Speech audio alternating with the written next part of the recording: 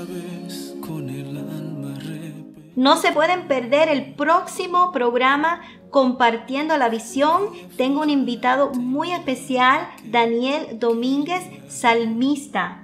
Sí, quiero que tú estés presente. No puedes perderte esta ocasión porque vamos a estar hablando vamos a estar testificando, vamos a estar eh, cantando y va a ser un tiempo hermoso y poderoso. No puedes faltar. Ahí los esperamos el martes a las 8 de la noche en tu programa favorito. a tu